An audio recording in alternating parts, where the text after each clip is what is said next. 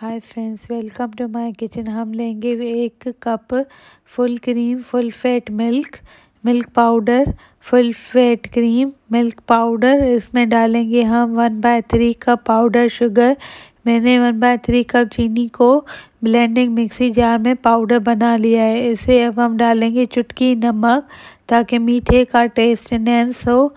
इन सबको मिक्स करेंगे। मिक्स कर लें। अब हम इसमें डालेंगे वन बाय थ्री का पानी एक दफ़ा, फिर वन बाय थ्री का पानी दो दफ़ा। तो टोटल हमें इसमें डालें दो ड्राफ्ट नींबू का रस, लेमन जूस। चॉकलेट के साथ लेमन का टेस्ट अच्छा जाता है तो ज़रूर डालिएगा। और अब हम इसमें धीरे धीरे करके टोटल ट्वेल्व टेबल स्पून पानी डालेंगे। वन बाय थ्री कप बराबर होता है छः टेबल स्पून के। तो मैं दो बार वन बाय थ्री कप पानी डाल रही हूँ तो मतलब टोटल से ट्वेल्व टेबल स्पून पानी में डालूँगी।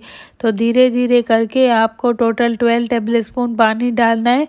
अगर आपको ऐसे अंदाज़ा नहीं हो रहा तो एक गाढ़ा पेस्ट बना लें। एक बार गाढ़ा बेटर बना लें चॉकलेट का, ताकि जब हम इसे फ्रीज़ करें तो वो अच्छे से जमना चाहिए तो धीरे धीरे पानी डालें और थिक कंसिस्टेंसी बना लें। पानी को धीरे धीरे डालें। टोटल ट्वेल्व टेबल स्पून पानी जाएगा। यहाँ दो दफ़ा वन बाय थ्री कप पानी जाएगा। तो आई होप ये क्लियर हो गया होगा। नहीं है तो आप मुझसे सवाल पूछ सकते हैं।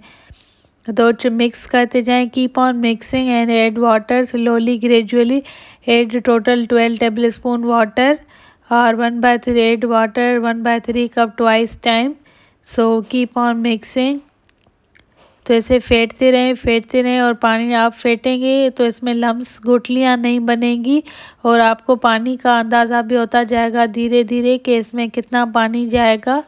तो मिक्स करते रहें इसको। तो यहाँ तक मैं धीरे धीरे पानी डालती जा रही हूँ। आपको पूरा लंबाई से दिखा रही हूँ ताकि आपको बनाने में परेशानी ना हो। तो ये देखें मैं कितने मज़े मज़े से पानी डाल के मिक्स कर रही हूँ। कंसिस्टेंसी देखें, ये पेस्ट की कंसिस्टेंसी में अब आ गया है। धीरे ये देखें, इतना गाढ़ा बेटर होना चाहिए। तो ये यहाँ पे मैंने ये इसमें डाल दिया। अब ये बचा कुचा मैं इसमें पूरा डाल रही हूँ।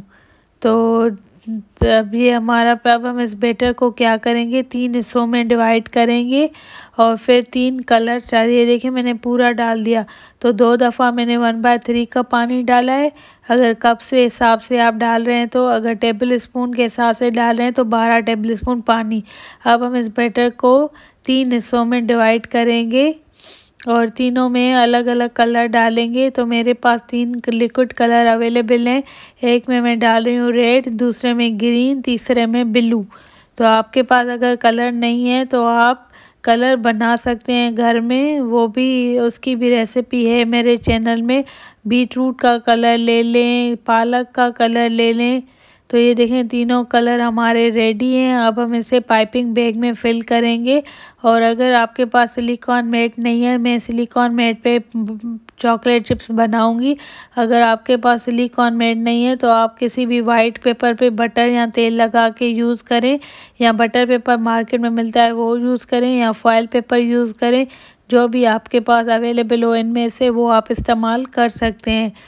यहाँ पे मैं पतली, मोटी जैसी चिप्स आपको बनानी है, वैसे बनाए, तार बनाए एक लंबाई में तो ये देखें ग्रीन कलर की भी अब मैं बना रही हूँ। दूसरी साइड पे मेरे डैडी बना रहे हैं पिंक कलर के चिप्स, यहाँ पे मैं ग्रीन कलर के बनाती जा रही हूँ। इसी तरीके से हम पूरे मेट को फिल करेंगे और फिर इसे फ्रीज़र में रख देंगे एक घंटे के लिए, ताकि जो चिप्स हैं वो जम जाए तो हमारी चॉकलेट चिप्स बनकर रेडी हो जाएँगी। तो पूरा मेट, एक मेट काफ़ी है तीन बैग्स के लिए। तो ये टोटल मैंने तीन कलर के पाइपिंग बैग खाली कर लिए हैं और ये एक मेट भर गया है। फ्रीज़ कर लेते हैं एक घंटे के लिए, फिर हम इसे उतारेंगे। फ्रीज़र के, फ्रीज़ होने के बाद ये खुद ही अलग हो जाएँगी सिलिकॉन मेट से। Thank you for watching please like share comment subscribe your views matters lord press bell icon button ये देखें कितनी आसानी से जम गई हैं, आराम से निकल रही हैं मेट से। Thank you for watching please like share comment subscribe your views matters a lot thank you